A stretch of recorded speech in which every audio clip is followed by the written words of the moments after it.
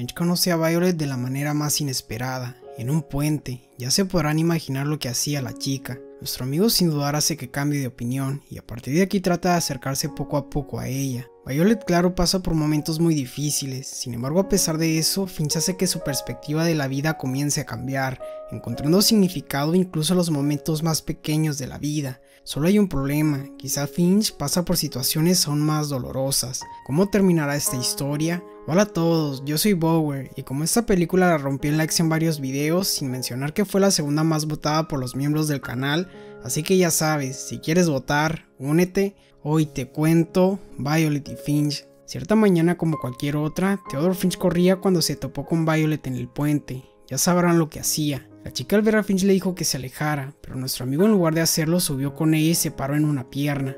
Al verlo Violet se aterrorizó, por eso Finch le tendió la mano. No tenía que hacer eso, ambos podían solo bajar. La chica terminó haciéndolo y poco más tarde asistió a la escuela, donde Amanda, su mejor amiga, le invitó a una fiesta en su casa. Violet no respondió, estaba distraída observando a Finch. Sobre el chico este visitó a Embry, el terapeuta escolar, quien le dijo que debía dejar de faltar a clases, estaba en riesgo de no graduarse, y no debía poner la excusa de que su abuela había fallecido, y era la cuarta vez que lo hacía, Realmente no le pedía mucho, solo asistir a las clases y a esas sesiones de terapia. Horas más tarde durante el almuerzo Violet estaba con sus amigos, Finch con los suyos, sin embargo no podía dejar de mirar a la chica. Brenda y Charlie lo notaron, así que nuestro amigo hizo una pregunta. La hermana de Violet murió, ¿verdad? Sí, respondieron los chicos. Al salir de la escuela, Kate, la hermana de Finch, le dijo que había llamado a su terapeuta. Finch respondió que no era nada, no se debía preocupar. Está bien, respondió Kate. Por cierto, mamá se fue de viaje de negocios. Ahora me voy. Te quiero. Te quiero, respondió Finch. Pasando con Violet, los padres de la chica dijeron que sabían que era un día difícil. Después de todo era cumpleaños de Leonor, su hermana. Aún así habían preparado pastel. Violet sin dudar se levantó. Ese no era un día para celebrar. Regresando con Finch, tras pegar una nota en su pared que decía Estoy despierto, buscó en internet sobre Violet. Así se enteró que su hermana había muerto en un accidente de auto. Sin dudar se dirigió hacia el puente. Ahora entendía a la chica. Ese era el lugar del fallecimiento de su hermana. Al día siguiente a Violet se le cayeron sus libros al entrar a clase. Los chicos comenzaron a reírse, pero para desviar la atención Finch lanzó su banco de inmediato, cosa que Violet agradeció con una sonrisa. Como sea, el profesor les encargó un proyecto en parejas, hablar sobre dos o más maravillas de Indiana y explicar qué significaban para ellos. Con eso en mente Finch se acercó a Violet, pero la chica se marchó. Poco más tarde Finch agregó otra nota a su pared. Esta decía, ¿por qué ella me sonrió? Violet por su parte pidió a su madre hablar con el profesor, no quería hacer el proyecto. Cheryl respondió que lo sentía, pero quizá era hora de volver a la realidad. Sabía que era difícil, pero hace mucho no salía con sus amigos, si lo hacía quizá hablaría con el profesor. Violet terminó asistiendo a la fiesta de Amanda. Aquí Romer se acercó coqueteando, pero al no ser correspondido dijo que habían pasado meses, ya debía superarlo. La chica sin dudar se fue de la fiesta, aunque pronto recibió una notificación. Finch la había etiquetado en una historia donde le cantaba. La chica de inmediato le pidió eliminarla, lo que Finch aprovechó para decirle una cita de Virginia Woolf e invitarla a pasear. Sorprendentemente Violet aceptó. Aquí Finch le dijo que la había googleado, había visto su página y era buena escribiendo. También le dijo que no sabía que se había mudado de California. Violet no hablaba mucho, así que Finch comentó lo del puente. No sabía que allí había muerto Leonor. Violet respondió que aunque lo creyera, no había tratado de hacerlo tu morición. Está bien, respondió Finch, pero quiero ser tu compañero de proyecto, te hará bien salir. Violet dijo que no quería salir estaba harta de la gente. Sí, respondió Finch, pero hay lugares que vale la pena ver. Hasta el lugar más pequeño puede significar algo, o al menos para nosotros. No hay nosotros, dijo Violet. Está bien, pero dos paseos es todo lo que pido. Puede gustarte. No, no es cierto, respondió Violet. Entonces tengo otra cita para ti. Siento mil capacidades surgiendo de mí. Violet, aunque no lo creas, tú tienes al menos mil capacidades. Violet preguntó a Finch si sabía que la gente lo llamaba fenómeno. Sí, respondió el chico. Es porque a veces hago o digo cosas sin pensar y a la gente no le gusta. Lo que sí les gusta es poner etiquetas. Para terminar, Violet dijo que no haría el proyecto. Sus padres hablarían con el profesor. Debía buscarse a otro compañero y sin más se despidió. Violet estaba muy segura de su afirmación. Lástima que el profesor no estaba de acuerdo. Al volver a casa, Finn se topó con Violet en su bicicleta. Aceptaba ser su compañera, pero no subiría un auto. Entendiendo, nuestro amigo tomó su bicicleta y llevó a la chica al primer lugar. Durante el camino charlaron un poco. Violet quería ir a California mientras que Finn deseaba ir a un lugar que nadie hubiera ido. Fue entonces que llegaron, el lugar más alto de Indiana, una simple roca, claro que sí. Violet esperaba algo más, así que Finch la invitó a subir con él a ver la increíble vista. Dudando la chica lo hizo. Estar ahí era patético, así que comenzaron a reír, algo que no hacía Violet hace tiempo. Esto hizo abrirse a Violet. El día del puente era cumpleaños de su hermana, habría cumplido 19, por eso había ido ahí. Finch entendió, así que para cambiar de tema propuso saltar. Ambos lo hicieron, y aunque solo había sido un simple salto, se había sentido bien.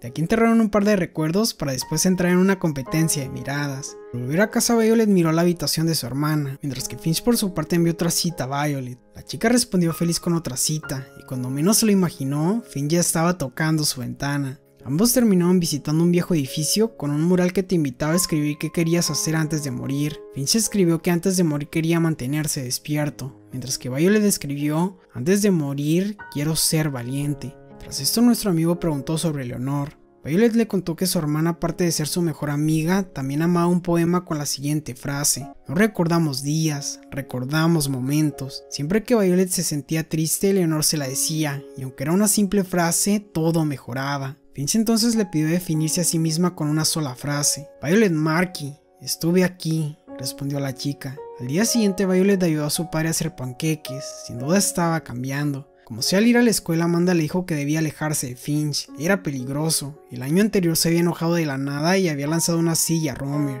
Esto dejó pensativa a Violet, por lo que al acercarse nuestro amigo le dijo que ya era suficiente. Habían dicho solo dos paseos. Aquí Romer intervino diciendo a Finch que se alejara de Violet. Todos pensaban que su rareza era actuación, pero él sabía que era verdad.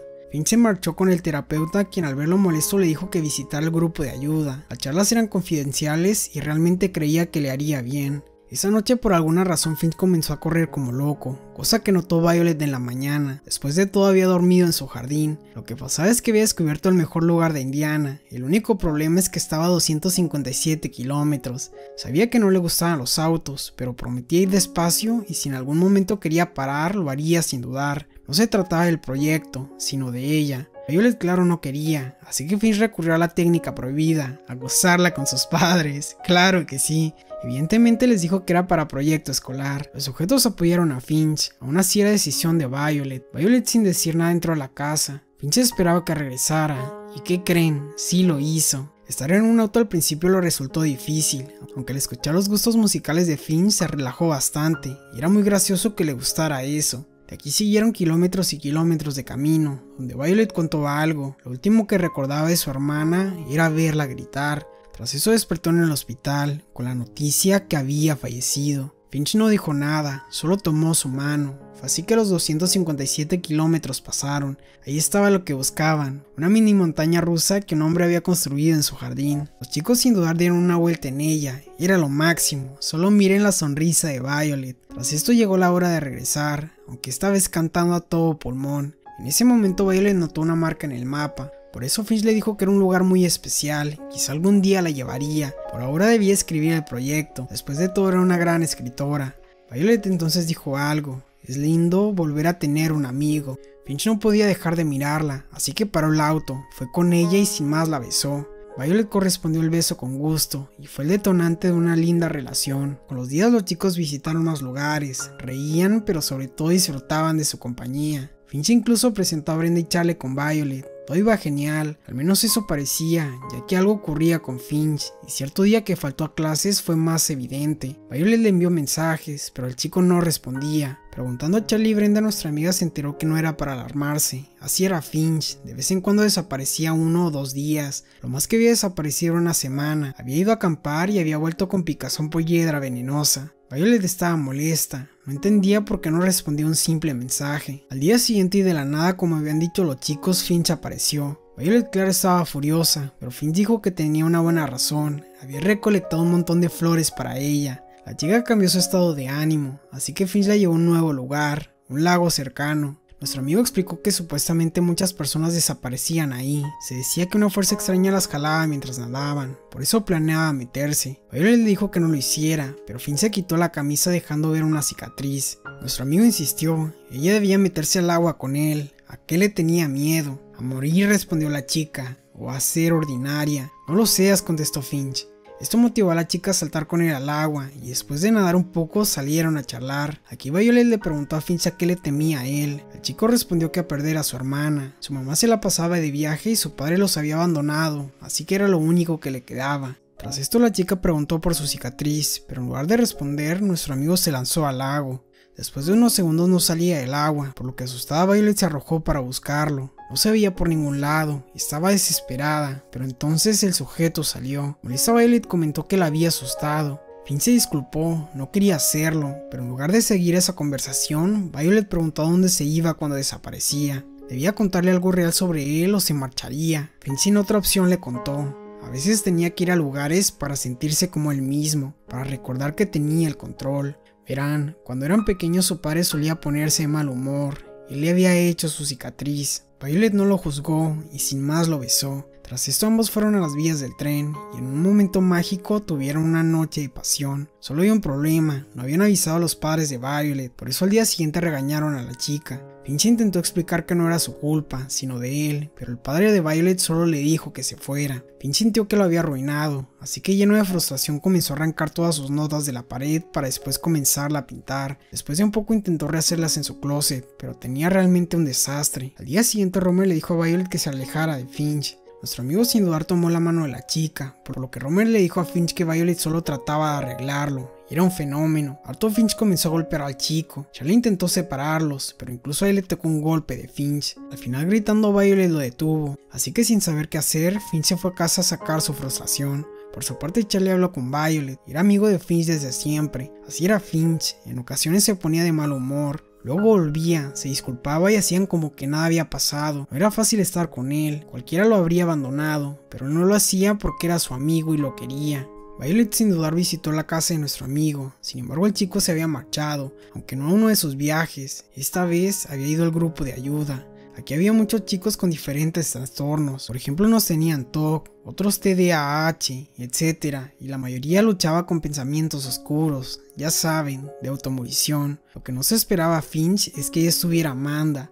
Ella aparte de tener un trastorno alimenticio, también luchaba con esos pensamientos oscuros. Finch al escuchar a todos se animó a abrirse, había tenido una pelea en la escuela, sin embargo era como si no estuviera ahí. Eso le pasaba seguido, a veces se perdía a sí mismo. Correr solía ayudar, pero en ocasiones no era suficiente. Al finalizar la sesión Amanda le dijo a Finch que había oído lo de la pelea. ¿Acaso no se cansaba de que la gente hablara de él? La gente siempre hablará, respondió Finch. Lo que verdaderamente me preocupa es que sigo arruinando las cosas. ¿Acaso estas sesiones me ayudarán? Es mejor que la alternativa, respondió Amanda. Poco más tarde Finch fue con Kate para decirle que no recordaba mucho a su papá, solo recordaba lo malo. ¿Acaso ella recordaba algo bueno? Kate dijo que no, los golpes habían borrado todo. ¿Por qué era así? preguntó Finch. ¿Nosotros éramos los culpables? ¿Por qué me pregunta? respondió Kate. ¿Qué pasa? Nuestro amigo no le contó, y sin más se fue a casa donde se topó con Violet en su habitación. Aquí la chica preguntó qué eran esas notas. Finch respondió que con ellas trataba de enfocarse en mantenerse despierto. A veces se quedaba en blanco, se ponía de mal humor y no pensaba lo que hacía, solo perdía el control. Verán, a lo que Finch se refería es que aparte de tener depresión, tenía un trastorno bipolar. Escribir las cosas lo ayudaban a concentrarse, solo que últimamente no podía. Violet le dijo que lo ayudaría, pero Finch cambiando de humor y gritando dijo que no quería su ayuda, solo quería que se fuera. La chica llorando lo hizo, solo que al día siguiente Finch no fue a la escuela. De inmediato lo llamó, pero el chico no respondía. Así pasó otro día, no había rastro de Finch. Esa mañana armándose de valor, Violet le contó a su padre que Finch había sido un gran apoyo para ella. Él había salvado en el puente. Gracias a él ahora estaba mejor y ahora ella necesitaba salvarlo a él, solo que no sabía dónde podía encontrarlo. Su padre le preguntó si no había un lugar especial, un lugar a donde quisiera ir. Al oír eso la chica lo supo, por eso aunque hace mucho no conducía, tomó las llaves del auto y comenzó a hacerlo hacia el lago. Allí estaba la camioneta de Finch, solo había un problema, había llegado tarde, nuestro amigo había fallecido, lamentablemente había hecho el auto, ya saben, morición. Poco después llegó el funeral y al caer la noche Amanda le contó sus problemas a Violet. Con los días nuestra amiga notó el mapa de Finch, por eso fue al lugar especial, una iglesia, pero no cualquier iglesia, una en memoria de los fallecidos en accidentes. Entre las páginas había varios nombres, sin embargo resaltaba una frase, estuve aquí, Theodore Finch. Violet no pudo evitar llorar, Así tuvo el valor para presentar su proyecto. Antes me preocupaba por todo, las cosas que parecían significativas no lo eran, me preocupaba la vida, me preocupaba lo que pasaría si volvía a sentir, creía que no lo merecía, entonces sin saber lo cambié, no estaba preocupada por lo que pasaría si vivía, me preocupaba lo que pasaría si no lo hacía, me preocupaba no recordar, no recordar todos los momentos, todos los lugares, y eso fue por Finch. Él me enseñó a pasear, me enseñó que no tienes que escalar una montaña para estar en la cima del mundo, que incluso los lugares más feos pueden ser hermosos siempre y cuando te tomes el tiempo para mirar. Me enseñó que está bien perderse, siempre y cuando encuentres tu camino de regreso. Pero aprendiendo todo eso me perdí de lo más importante, de ver a Finch. Me perdí su dolor, me perdí que me estaba enseñando a seguir adelante. Finch era un soñador, soñaba mientras estaba despierto, soñó con toda la belleza del mundo y la hizo cobrar vida. Finch me enseñó que hay belleza en los lugares más inesperados y que hay lugares brillantes incluso en los tiempos oscuros y que si no los hay, tú puedes ser ese lugar brillante con infinitas capacidades. Si quieres ver otra historia similar te recomiendo Bajo la misma estrella, también una voz silenciosa, y claro yo antes de ti un paseo para recordar, las cuatro estarán apareciendo en pantalla. Muchas gracias a todos por ver y gracias especiales a los miembros del canal quienes me apoyan a seguir creando este tipo de contenido. Si te gustó dale like y activa la campana. Eso es todo. Power fuera. Nos vemos en la próxima.